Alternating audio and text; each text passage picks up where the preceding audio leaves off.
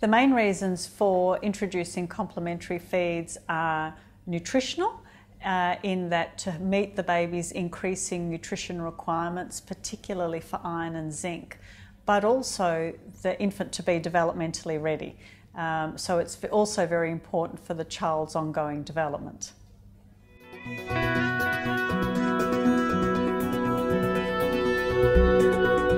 The most common themes are important around complementary feeding are to introduce appropriate solid foods that are nutrient dense uh, after or from six months of age uh, to continue breastfeeding. So, the other important reason is for the baby to develop important uh, developmental skills uh, and also hopefully to establish good feeding patterns and good behaviours that will allow the baby to grow and develop uh, and be free of uh, disease.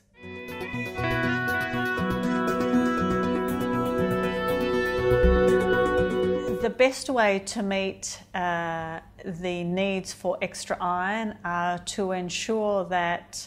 uh, appropriate iron rich foods are introduced from the age of six months, and hopefully, the baby has had a good endowment of iron uh, from the time it was born uh, with uh, uh some uh, extra blood that's come from the placenta with uh, late cord clamping.